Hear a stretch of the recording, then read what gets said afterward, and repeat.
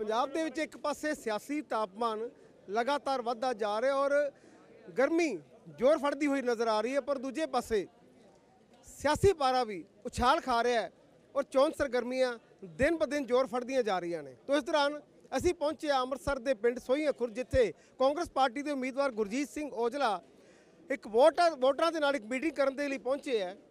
ਹਰ ਕੋਈ ਵੋਟਰਾਂ ਤੱਕ ਪਹੁੰਚ ਕਰਕੇ ਆਪਣੀ ਪ੍ਰਾਪਤੀਆਂ ਗਿਣਾ ਰਿਹਾ ਹੈ। ਵੋਟਰਾਂ ਨੂੰ ਵੋਟ ਪਾਉਣ ਦੀ ਅਪੀਲ ਕਰ ਰਿਹਾ ਹੈ। ਪਰ ਕਿਤੇ ਨਾ ਕਿਤੇ ਔਜਲਾ ਸਾਹਿਬ, ਮੁੱਦੇ ਨਜ਼ਰ ਨਹੀਂ ਆ ਰਹੇ ਜ਼ਿਆਦਾਤਰ ਦੂਸ਼ਣਬਾਜ਼ੀ ਨਜ਼ਰ ਆ ਰਹੀ ਹੈ।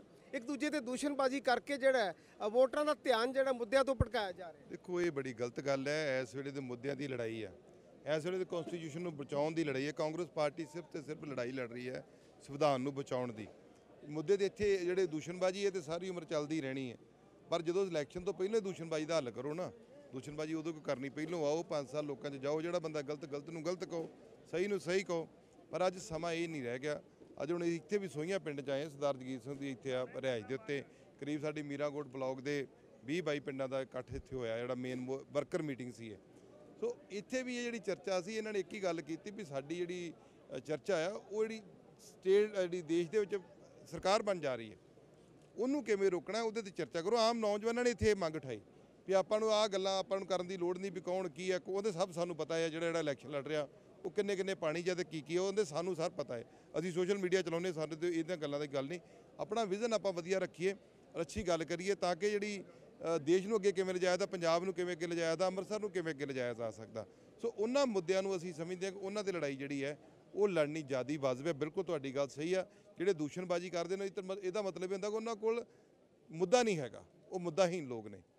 ਜਦੋਂ ਕੋਈ ਮੁੱਦਾ ਹੋਵੇ ਉਹ ਮੁੱਦੇ ਦੀ ਗੱਲ ਕਰਦਾ ਹੈ ਉਹ ਦੂਸ਼ਣਬਾਜ਼ੀ ਨਹੀਂ ਕਰਦਾ। ਸਿੱਖ ਸਿਆਸਤ ਦਾ ਦੌਰਾ ਹੈ। ਪੰਜਾਬ ਦੀ ਸਭ ਤੋਂ ਮਹੱਤਵਪੂਰਨ ਲੋਕ ਸਭਾ ਸੀਟ ਹੈ ਸ਼੍ਰੀ ਅੰਮ੍ਰਿਤਸਰ ਸਾਹਿਬ। ਜਦੋਂ ਸ਼੍ਰੀ ਅੰਮ੍ਰਿਤਸਰ ਸਾਹਿਬ ਦੀ ਗੱਲ ਕਰਦੇ ਆ ਤਾਂ ਕਈ ਮੁੱਦੇ ਜ਼ਿਹਨ ਚ ਆਉਂਦੇ ਆ। ਤੁਸੀਂ ਕੀ ਮੁੱਦੇ ਲੈ ਕੇ ਜਨਤਾ 'ਚ ਵਿਚਰ ਰਹੇ ਹੋ? ਦੇਖੋ ਅੰਮ੍ਰਿਤਸਰ ਦੇ ਸਰ ਪੱਕੀ ਵਿਕਾਸ ਦੀ ਗੱਲ ਅਸੀਂ ਕਰਦੇ ਹਾਂ। ਅੰਮ੍ਰਿਤਸਰ ਇੱਕ ਆਸਥਾ ਦਾ ਕੇਂਦਰ ਹੈ। ਲੋਕ ਸ਼੍ਰੀ ਹਰਿਮੰਦਰ ਸਾਹਿਬ ਮੱਥਾ ਟੇਕਣ ਆਉਂਦੇ ਨੇ। ਬੜੀ ਦੂਰੋਂ ਦੂਰਾਂ ਤੋਂ ਲੋਕ ਇਮੜ ਕੇ ਪ੍ਰਾਈਮ ਮਿਨਿਸਟਰ ਤੱਕ ਵੀ ਲੋਕ ਇੱਥੇ ਆਉਂਦੇ ਨੇ। ਸ਼੍ਰੀ ਦੁਰਗਿਆਣਾ ਤੀਰਥ ਆਉਂਦੇ ਨੇ ਭਗਵਾਨ ਵਾਲਮੀਕੀ ਦੇ ਤੀਰਥ ਆਉਂਦੇ ਨੇ। ਅਲੱਗ-ਅਲੱਗ ਜਗ੍ਹਾ ਤੇ ਲੋਕ ਸਾਰੇ ਇੱਥੇ ਕਿਉਂਕਿ ਆਸਥਾ ਦਾ ਬਹੁਤ ਵੱਡਾ ਕੇਂਦਰ ਹੈ।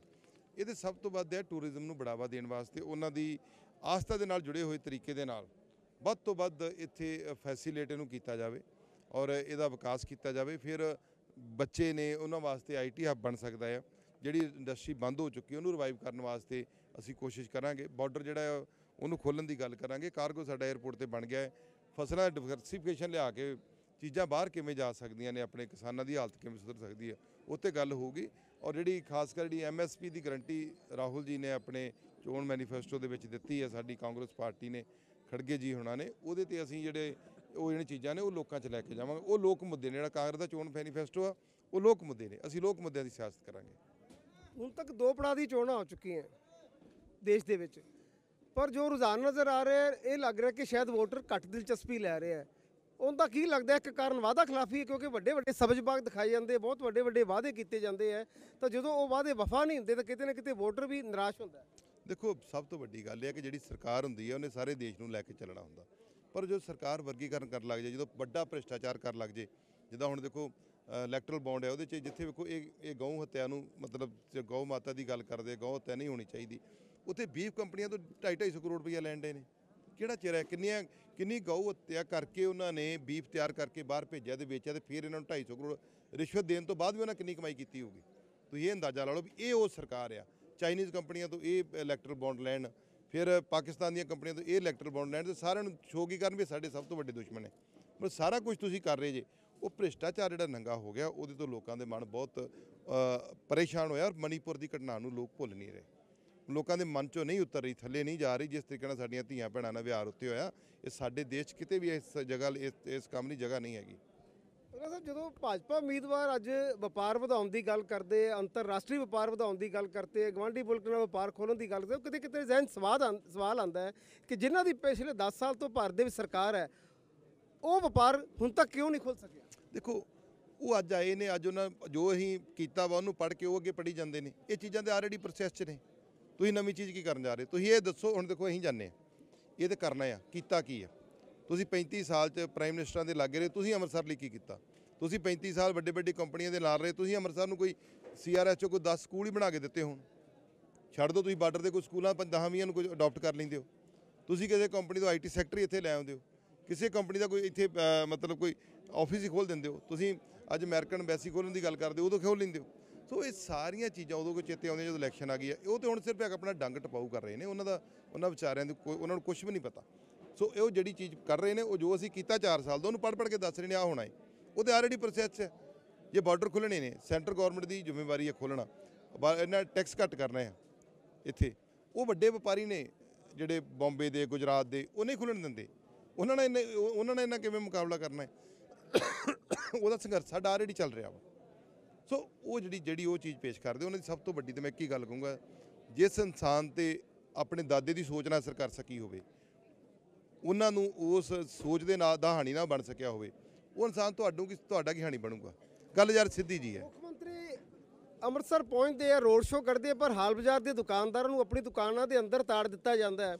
ਉਹਨਾਂ ਨੂੰ ਬਾਹਰ ਆਉਣ ਦੀ ਇਜਾਜ਼ਤ ਨਹੀਂ ਮਿਲਦੀ। ਔਰ ਰੋਡ ਸ਼ੋਅ ਜਿੰਨਾ ਕੁ ਰਸ਼ ਸੀਗਾ ਉਹ ਇਸ ਗੱਲ ਦੀ ਮੂੰਹ ਬੋਲਦੀ ਤਸਵੀਰ ਸੀ ਕਿ ਹੁਣ 2022 ਵਾਲਾ ਰੁਝਾਨ ਨਹੀਂ। ਤਾਂ ਕੀ ਲੱਗਦਾ ਹੈ? 13-0 ਦਾ ਦਾਵਾ ਕਰ ਰਹੇ ਭਗਵੰਤ ਮਾਨ। ਕੀ ਲੱਗਦਾ ਕਿੰਨੀਆਂ ਸੀਟਾਂ ਆਮ ਆਦਮੀ ਪਾਰਟੀ ਦੇ ਹਿੱਸੇ ਆਉਣਗੀਆਂ? ਦੇਖੋ, ਮੇਰਾ ਮੰਨਣਾ ਹੈ 1 2 ਮੈਕਸਿਮਮ ਜਾਂ ਤੁਸੀਂ ਇੱਕ 13 ਚ 1 ਤੇ 3 1 3 ਦੇ ਵਿੱਚ ਵਿੱਚ ਰਹਿਣਾ। ਗਾਹ ਨਹੀਂ ਵੱਧ ਸਕਦੇ। ਕਿਉਂਕਿ ਅਸੀਂ ਵੇਖੋ, ਅਸੀਂ ਇਸ ਧਰਤੀ ਤੋਂ ਬਿਲੋਂਗ ਕਰਦੇ ਸਾਨੂੰ ਉਹਦੇ ਵਰਗੀਆਂ ਆਦਤਾਂ ਨਹੀਂ ਆ ਕਿ ਫੜਾ ਮਾਰੀ ਜੋ ਬਗੈਰ ਵਜ੍ਹਾ ਤੋਂ, ਉਹ ਬਣਦਾ ਨਹੀਂਗਾ ਜੋ ਸੱਚਾਈ ਉਹ ਮੰਨਣ। ਕੱਲ ਉਹਨਾਂ ਅੰਮ੍ਰਿਤਸਰ ਆ ਕੇ ਵੇਖ ਹੀ ਲਿਆ। ਲੋਕ ਬਾਹਰ ਕੀ ਨਿਕਲਣਾ? ਲੋਕ ਕੀ ਅੰਦਰਾਂ ਚ ਉਹਨਾਂ ਨੂੰ ਕਹਿ ਰਹੇ ਹੋ, ਤੁਹਾਨੂੰ ਸਾਰਿਆਂ ਨੂੰ ਪਤਾ ਹੈ। ਤੁਸੀਂ ਆਪਣੇ ਝੰਡੇ 5000 1500 ਝੰਡਾ ਖੜਾ ਕਰਕੇ ਲੋਕਾਂ ਨੂੰ ਕੀ ਦੱਸੋਗੇ? ਇਕੱਠ ਬਹੁਤ ਹੋ ਗਿਆ।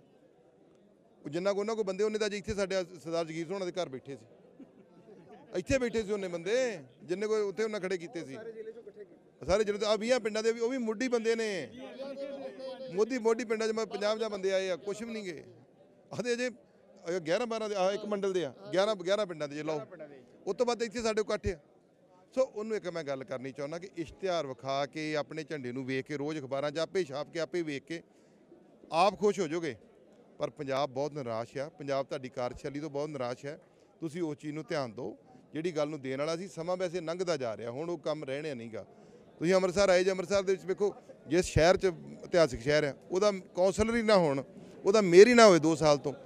ਗੰਦਗੀ ਉੱਥੇ, ਸਫ਼ਾਈ ਦਾ ਬੁਰਾ ਹਾਲ ਉੱਥੇ, ਸੜਕਾਂ ਟੁੱਟੀਆਂ ਹੋਣ, ਲਾਈਟਾਂ ਨਾ ਜਗਦੀਆਂ ਹੋਣ। ਇੱਕ ਸਰਕਾਰ ਦਾ, ਇਹ ਸਰਕਾਰ ਹੈ। ਜਿ- ਜਿਹੜੀ ਚੀਜ਼ ਹੈ ਵੇਖੋ ਜਿਸ ਦੇਸ਼ ਦਾ ਮੁੱਖ ਮੰਤਰੀ ਨਾ ਹੋਵੇ, ਰਾਸ਼ਟਰਪਤੀ ਰਾਜ ਲਾਗੂ ਹੋਵੇ, ਅੰਨ ਲਾਣੇ ਅੰਮ੍ਰਿਤਸਰ ਤੇ ਰਾਸ਼ਟਰਪਤੀ ਰਾਜ ਹੈ ਕੋਈ ਅਫਸਰ ਚਲਾਉਂਦੇ ਨੇ, ਉਹਨਾਂ ਦੀ ਮਰਜ਼ੀ ਕੋਈ ਬਣ ਜੇ, ਉਹਨਾਂ ਦੀ ਮਰਜ਼ੀ ਕੋਈ ਨਾ ਬਣੇ। ਸੋ, ਉਹ, ਇਹ ਸਰਕਾਰ ਬੁਰੀ ਤਰ੍ਹਾਂ ਫੇਲ ਹੋਈ ਹੈ। ਇਹ ਮਤਲਬ ਜਿਹੜੀ ਬਾਦਸ਼ਾਹ ਨੇ, ਇਹ ਸ਼ਤ, ਮਹਾਰਾਜ ਸ਼ਤੌਜ ਨੇ। ਸਾਨੂੰ ਤਾਂ ਮਹਾਰਾਜਾ ਹੀ ਟੱਕਰਦੇ ਨੇ, ਮਹਾਰਾਜਾ ਪਟਿਆਲਾ ਸੀ, ਹੁਣ ਮਹਾਰਾਜਾ ਸ਼ਤੌਜ ਨੇ। ਸੋ ਕਿਰਪਾ ਕਰਨ ਸਾਡੇ ਤੇ, ਅਸੀਂ ਬੜੇ ਵਧੀਆ ਆ ਤੇ ਇਹ ਭਾਵ ਭਾਵ ਤੁਸੀਂ ਲੈ ਗਏ ਜੇ। ਤੇ ਆਪਣਾ ਜਿਹੜਾ ਇਹ ਇਹ ਤੇ ਜਿਹੜਾ ਇਸ ਇਲੈਕਸ਼ਨ ਤੋਂ ਬਾਅਦ ਆਪਣਾ ਕੋਸ਼ਿਸ਼ ਕਰਿਓ ਕੋਈ ਚੰਗਾ ਕੰਮ ਕਰਨ ਦੀ। ਮੇਰਾ ਖਿਆਲ ਉਹ ਤੁਸੀਂ ਜਾਬਦਾ ਨਹੀਂ ਕਰੋਗੇ ਪਰ ਫਿਰ ਵੀ ਅਸੀਂ ਅਸੀਂ ਚੰਗੇ ਦੀ ਆਸ ਰੱਖਾਂਗੇ। ਦਾਵਾ ਕਰਦੇ ਆ ਕਿ ਲੋਕ ਸਭਾ ਚੋਣਾਂ ਤੋਂ ਬਾਅਦ ਸਰਕਾਰ ਜਿਹੜੀ ਹੈ ਉਹ ਡਿੱਗ ਪੈਣੀ ਹੈ। ਦੇਖੋ ਇਹ ਤੇ ਇਹ ਤੇ ਸਰਕਾਰ ਦੇ ਵਿੱਚ ਆਪਸੀ ਇਹਨਾਂ ਦੀ ਕਲੇਸ਼ ਹੀ ਇੰਨੀ ਜ਼ਿਆਦੀ ਆ। ਐਮਐਲਏਆਂ ਦੀ ਆਪਸ ਦੇ ਵਿੱਚ ਜਿਹੜਾ ਲੜਾਈ ਝਗੜੇ ਉਹ ਹੀ ਇੰਨੇ ਜ਼ਿਆਦੇ ਆ। ਉਹਨਾਂ ਨੂੰ ਵੇਖ ਕੇ ਹਰ ਕੋਈ ਭਾਵ ਭਾਵ ਕਰਦਾ ਵੀ ਕਿਤੇ ਨਾ ਕਿਤੇ ਇਹਨਾਂ ਦਾ ਕਲੇਸ਼ ਵਧੂਗਾ ਲੱਗਦਾ। ਉਹ ਚੀਜ਼ ਨੂੰ ਮੰਨਦੇ ਨੇ। ਇਹ ਨੇ ਸ਼੍ਰੀ ਅੰਮ੍ਰਿਤਸਰ ਸਾਹਿਬ ਤੋਂ ਕਾਂਗਰਸ ਪਾਰਟੀ ਦੇ ਉਮੀਦਵਾਰ ਗੁਰਜੀਤ ਸਿੰਘ ਔਜਲਾ ਅ, ਜਿਨ੍ਹਾਂ ਵੱਲੋਂ ਆਪਣਾ ਚੋਣ ਜਿਹੜਾ ਪ੍ਰਚਾਰ ਹੈ ਉਹ ਲਗਾਤਾਰ ਪਖਾਇਆ ਜਾ ਰਿਹਾ ਹੈ। ਔਰ ਹੁਣ ਤੱਕ ਕਿਤੇ ਕੰਮਾਂ ਨੂੰ ਜਨਤਾ ਦੀ ਕਚਹਿਰੀ ਦੇ ਵਿੱਚ ਪੇਸ਼ ਕੀਤਾ ਜਾ ਰਿਹਾ ਜਦੋਂ ਵਿਰੋਧੀਆਂ ਦੀ ਗੱਲ ਆਉਂਦੀ ਤੇ ਮੌਜੂਦਾ ਸੂਬਾ ਸਰਕਾਰ ਤੇ ਵੱਡੇ ਸਿਆਸੀ ਹਮਲੇ ਕੀਤੇ ਹੈ ਤੰਜ ਕਸੇ ਹੈ ਸਰਕਾਰ ਦੀ ਕਾਰਗੁਜ਼ਾਰੀ ਤੇ ਵੱਡੇ ਸਵਾਲੀਆ ਨਿਸ਼ਾਨ ਲਗਾਏ ਹੈ। ਕੈਮਰਾ ਪਰਸਨ ਅਵਤਾਰ ਸਿੰਘ ਦੇ ਨਾਮ ਮਨਿੰਦਰ ਸਿੰਘ ਮੋਂਗਾ ਪੀਡੀਸੀ ਨਿਊਜ਼ ਪਿੰਡ ਸੋਈਆਂ ਖੁਰਦ।